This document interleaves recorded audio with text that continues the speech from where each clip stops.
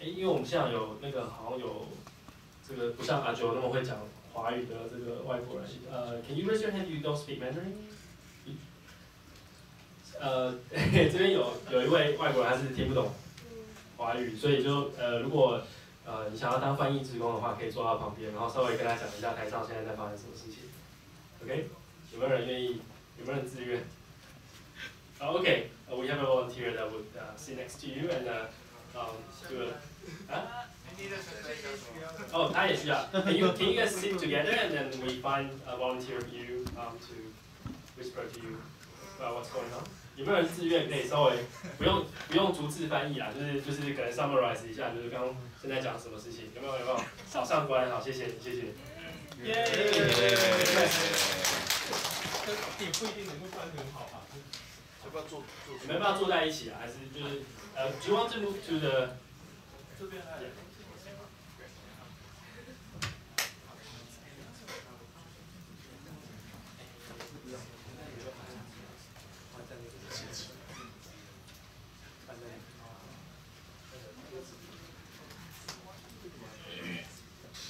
我叫悠悠哈，然后我我的提案很简单，就是一个 GDP 新手读书会的概念，就是就是先前提提要一下，就是简单讲，就是大概呃在两年前的时候，就二零一四年的时候，就是有人提出说要推那个临时的前端教学手，然后那时候他们的计划跟目标是希望是说，好像每个月固定举办一次那种前端教学手嘛。但是就是你也知道，就是没有没有没有这么简单，就是学习 学习曲线就蛮高的。我分享一下，就是我是自己是学理工背景的，可是我不是学资讯的。那我第一次来参加，说我能帮什么，就从头到尾都不知道大家在讲什么东西，然后我就默默离开了。所以我觉得这真的很很需要一个一个地方让那个新手让人家可以大家喂到宝的。然后第二个就是呃，我觉得讲师跟场地安排，因为之前的那个讲师跟场地安排直接。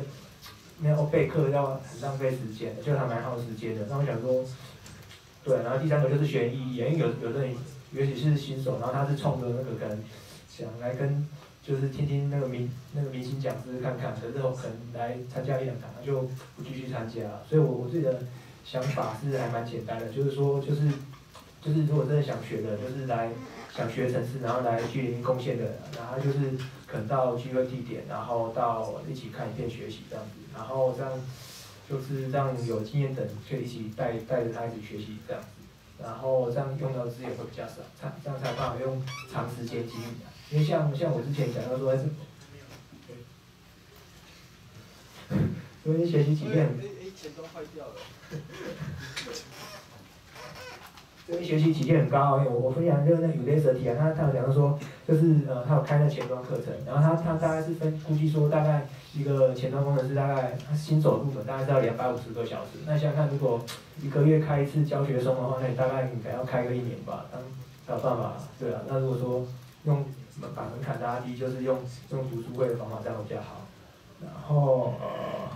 呃，目前的进度就是有找到那个 C A，就是那个我看看，呃，也就是他自己有在六月的时候他有开个读书会，那我们会共同跟他使用同一个共同的聚会空间。然后下面连接是那个小学院的之前两千的小学院 iPad。那我们需要的需要的人就是可能新手和老手想学或者是想共同进修的，就这样子。好，谢谢。下一位是呃。